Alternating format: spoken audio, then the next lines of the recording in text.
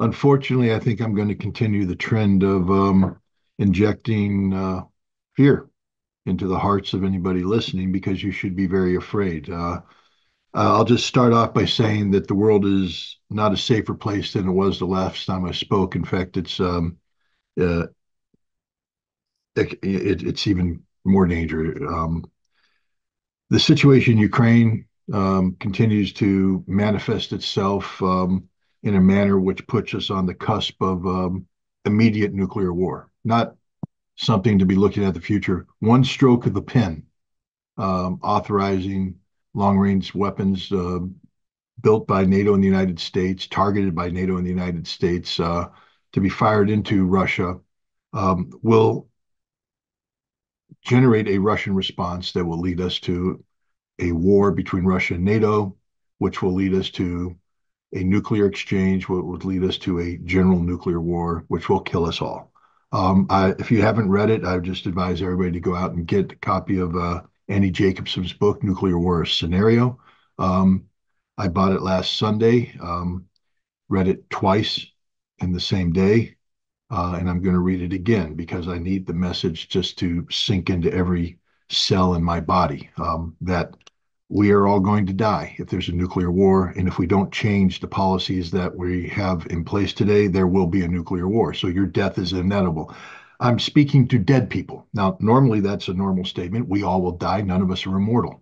Um, but I'm speaking to people who are going to die unnatural deaths. Every per person listening here will die an unnatural death if we allow these policies to continue.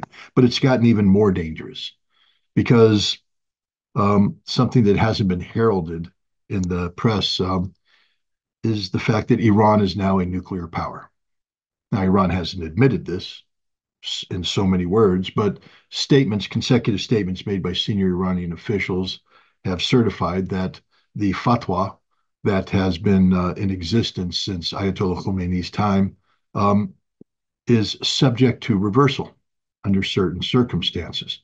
And one of those circumstances is when the enemy seeks to use a uh, type of weapon against you, you can use that type of weapon against the enemy.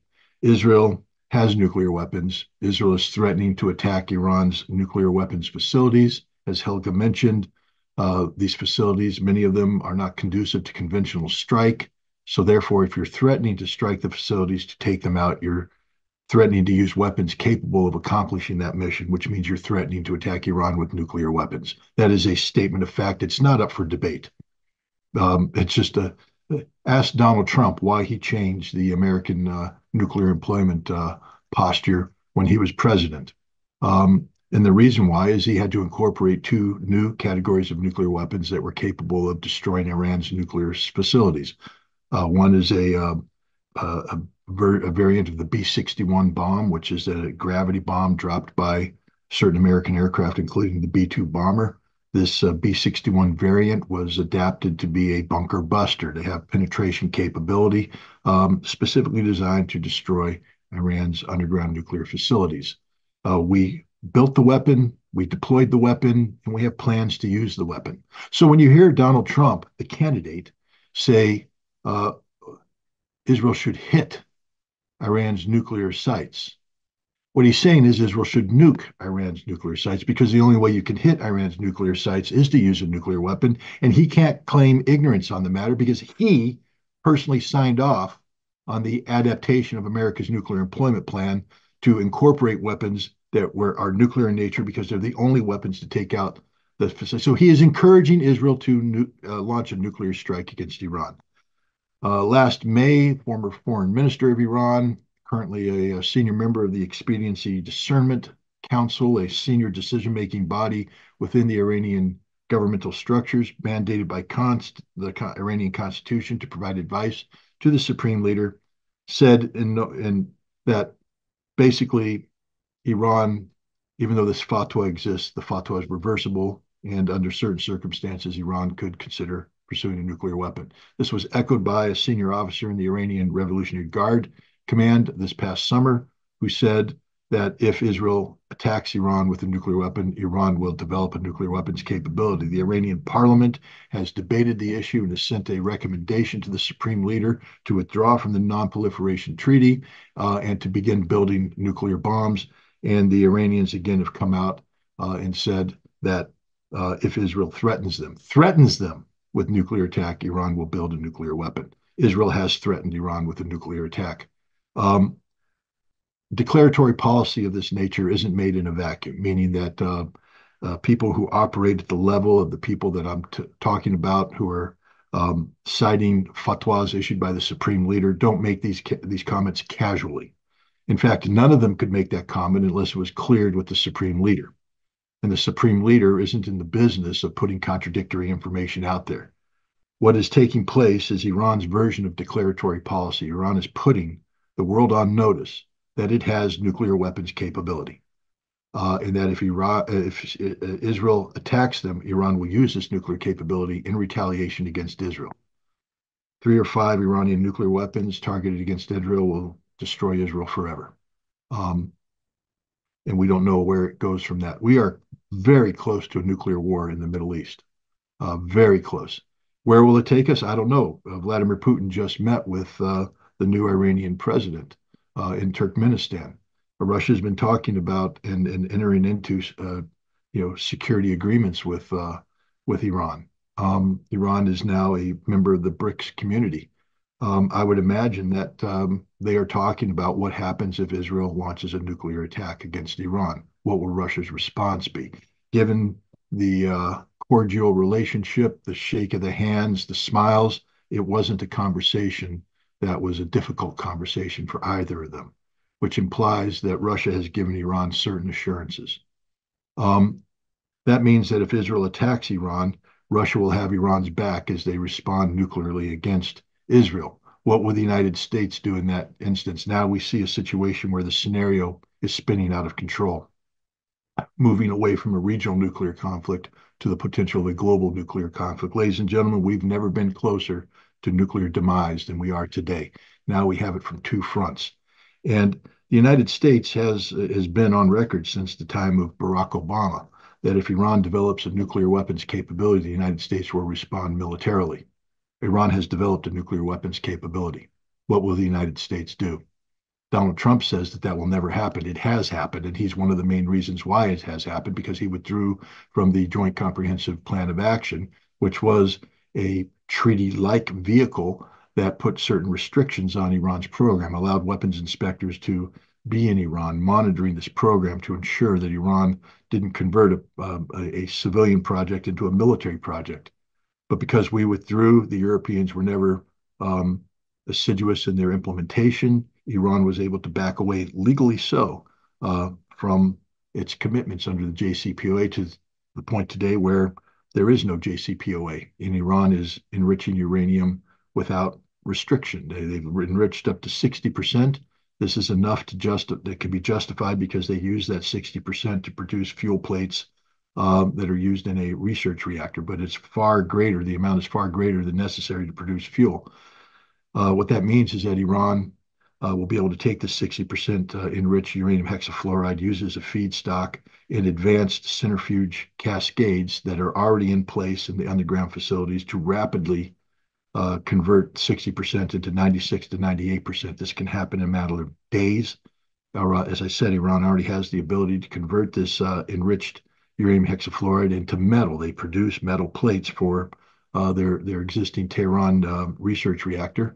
Um, they could produce the uranium metal in quantities sufficient to generate, um, to create critical mass and generate fission. Um, this is all that's necessary for a gun-type device. Iran doesn't need a sophisticated testing mechanism. Indeed, the United States built two bombs that were used against uh, Japan during World War II. One was um, Fat Man, the other was a Little Boy. Fat Man was the, the version that was tested at Alamogordo on July 16, 1945. It was a plutonium-based weapon that used a sophisticated implosion um, apparatus. It had to be tested because it was all theoretical. The uranium gun design didn't have to be tested because it's very simple. It's not sophisticated. If you have sufficient enriched, highly enriched uranium, you can build a gun design that will generate 15 to 20 kiloton charge. This is what I believe the Iranians will build. It's easily deployed on a uh, on missiles that Iran has. Iran has shown that its missiles can strike Israel without fear of interception and uh, Iran will be able to launch missiles equipped with nuclear warheads against Israel. And there's nothing Israel or the United States can do to prevent that. This is a whole new paradigm right now that challenges all red lines across the board. Um, how will the United States respond? Well, so far we've avoided saying that we will participate in an Israeli attack against uh, Iran because we understand the escalatory nature of this. But if Iran's declaratory policy appears to be pointing to the existence of a nuclear weapons program, will the United States now say, we will help Israel? All that does is guarantee Israel's elimination as a modern nation state, and it also puts tens of thousands of American troops at risk, which means that if Iran threatens American troops according to our nuclear doctrine, this would create a sufficient justification for the United States to preemptively use nuclear weapons against Iran. If we use nuclear weapons against Iran, um, we could inadvertently or deliberately provoke a Russian response. And now we're all dead. Do you see how this works? This is the world we live in. Um, it's a world we may not be living in much longer. Um, this vote coming up in on 5th November matters, but it only matters if we can get the candidates to commit to policies to talk about walking away from nuclear weapons instead of doubling down on stupid promoting existing policies that are leading us towards nuclear war. Um, so it requires everybody to um, get up and vocalize. Uh, I know that uh, Diane Sare is holding an event in uh, New York City on October 26th. The next day, there will be a brunch in New York City where we will have panels that will be discussing this. Um, we'll be advertising that, but I would encourage everybody to attend the event in New York City on the 26th and then attend the uh, brunch on the 27th. Empower yourself with knowledge and information, and then go out there and vote accordingly. Hold people accountable pr- prior to the election, and hold whoever wins accountable after the election. If we fail to do so, uh, human nature being what it is, we will probably end up in a nuclear conflict before the year is out, and none of this conversation matters. Thank you very much for inviting me. It's been a pleasure to talk with you. Thank you, Scott. Just want to underline something that you had said about all these different candidates doubling down with stupid. I think it's important that everybody on this meeting not think about this election as a football game, which unfortunately it's how most people think about this stuff. Who do you like whom and you know all this kind of nonsense. Every candidate should be gone after to stop nuclear war, all of them. We shouldn't be playing games around who do we like more or whatever. This is not this is too too risky of, of a situation to just let people run off run their mouths the way they've been doing. So thank you for saying that. I, I know uh, Helga Zepp LaRouche, uh, she had a she wanted to give a response. Uh, please go ahead, Helga. Scott, you succeeded to scare me to death. Um, I mean, we are trying to keep up with the developing intelligence, uh, especially naturally before such a meeting and you know i was aware of the fact that that possibility existed but i was not aware that iran did have uh, succeeded in developing this capability which if if what you say is the case indeed we are on total red alert. Is there any way how that can be you know put in front of the world public? Like for example approaching the UN Security Council to hold a special session because I think you know we can warn the world, but um, I think if if it, if it is at that point, I think it would require some institution like the UN Security Council to alarm the world. what, what do you say? Uh, first of all, Iran will never. First of all, Iran has not formally declared the existence of a nuclear weapon. Iran's uh, nuclear material continues to be under safeguard and um, safeguard uh, and uh, you know inspections by the International Atomic Energy Agency. what I'm saying is that Iran, by making declaratory statements of this nature, um, their ability to turn these statements from theory to reality is near instantaneous. It's not a large technological leap to have a nuclear device minus the fissile material ready to launch. And I believe Iran has this. Every indication through their statements implies that they are ready to respond immediately. Um, Iran would, uh, before they could actually have a declared nuclear capability, uh, Iran would probably have to uh, withdraw from the Nuclear Nonproliferation Treaty. That's something that the uh, Iranian parliament is urging the supreme leader to do right now. Um, once they um, make that announcement, then Iran can shut down the monitoring. The, the monitoring, the IAE monitoring no longer has legal viability, and Iran can begin the immediate diversion of the highly enriched or the low enriched 60% uh, in uranium to the uranium cascades, and literally within a matter of a day or two would have enough um, fissile uh, material to convert to metal and then put into a warhead. So in less than a week, Iran can go from a policy decision to a um, a usable weapon. And if you give them two weeks, they'll have three to five usable weapons. Uh, that's where we're at right now. But the Security Council can't take action on a theory because the IAEA would be called in and say there is no diversion of material. Um, and it also raised the question of, um, you know, what is prompting this threat? And the answer is Israel. And the last thing the United States wants is Israel's nuclear weapons capability discussed in the Security Council. Um, and so that's the problem. We have in Israel that uh, has this um, ambiguity resol- re- revolving around its nuclear weapons capability. Everybody knows they have them. Everybody knows they're there, but nobody talks about it.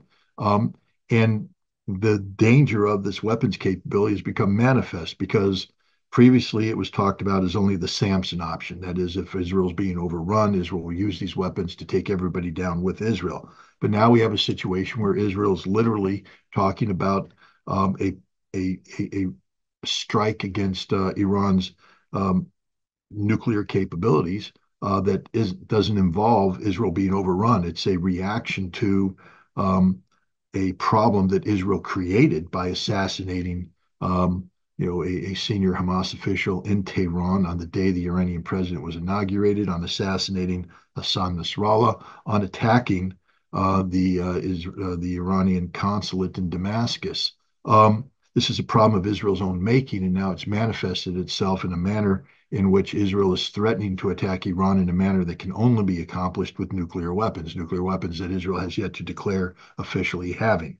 Um, and, and this is the real problem here. To solve this problem, uh, we have to not only talk about uh, walking away from whatever could trigger the potential use of nuclear we uh, weapons by Israel, but we have to address the destabilizing reality of Israel's nuclear weapons because those nuclear weapons now manifested themselves in a cause-effect relationship with Iran, which is going to prompt Iran to withdraw from the NPT and and uh, and produce its own nuclear weapons. And if Iran withdraws from the NPT, Saudi Arabia has indicated they will be seeking their own individual independent nuclear deterrent. Turkey has said the same thing, and now we have a region totally out of control, making the possibility of nuclear war um, even more likely. So, you know, we we need to start talking about disarmament. We need to start talking about uh, breathing life back into the Joint Comprehensive Plan of Action, but the JCPOA cannot be called the Iran nuclear deal anymore. The JCPOA, in order to be viable, has to involve Iran and Israel uh, agreeing to, um, you know, reciprocal inspection regimes that lead to guarantee that neither nation has a nuclear weapons capability. Israel's nuclear weapons cannot be allowed to exist. They are an existential threat uh, to the world, to the region, and to Israel. Uh, because if Israel uses nuclear weapons against Iran, Israel will cease to exist. That is a 100% guaranteed outcome that will happen. Um, even if they don't strike nuclear sites, if they just limit their strikes to oil facilities or anything else, Iran has said they will fire over a thousand uh, conventional missiles into the critical infrastructure targets of Israel. This means they'll destroy all of the power plants, all of the uh, water purification plants, all of the power distribution plants, all of uh, energy production, oil and gas, critical infrastructure, um, and Israel will be thrown into the Stone Age. And if Iran does that kind of attack, then the Samson option kicks in, and Israel will retaliate with nuclear weapons, which will lead to Iran developing nuclear weapons and deploying them against Israel in a very short period of time. We are in an extremely dangerous situation, and it's not made any easier knowing that Benjamin Netanyahu and Joe Biden had a vir virtual shouting match. When you talked about a shouting match, I thought you were going to talk about the phone call that Biden had with uh, with Netanyahu, where Biden basically told Netanyahu he has to stand down on this irresponsible posturing vis-a-vis Iran, and Netanyahu told him to pound sand. And so now you see, for instance, people are asking, why did uh, the U.S. ambassador to the United Nations come out and suddenly articulate in favor of two United Nations resolutions regarding Palestine? One, um, a ceasefire, the other one, the uh, immediate um, um, dispatch of humanitarian goods. These are two resolutions the United States has opposed in the past. And uh, the, the U.S. ambassador to the United Nations has articulated forcefully against these. But now she's advocating for them. Why? Because Biden promised Netanyahu that if he walks away from uh, attacking Iran, that the United States would provide not only unprecedented levels of military support, um, but also we would have Israel's back diplomatically. Israel will never fear uh, anything from the United Nations. Netanyahu has disregarded Biden's advice, and so now Biden is making Netanyahu pay a price. And um, this, you know, I don't think is going to succeed in um, doing anything other than pushing the Israelis even closer to making the decision to attack Iran. Um, we are in a, a, very dangerous situation because the United States appears to have lost the ability to pressure Israel into uh, taking um, uh, actions that um, are, good for the United States. Uh, and if Israel's not taking any guidance, that means that this comes down to not what's good for Israel, what's good for Benjamin Netanyahu, and he's willing to sacrifice all of the people of Israel, over 100 million people in the region, because he wants to go down in history with a legacy as a strong man um, who saved Israel. But he's going to be the man who destroyed Israel and took the region down with him.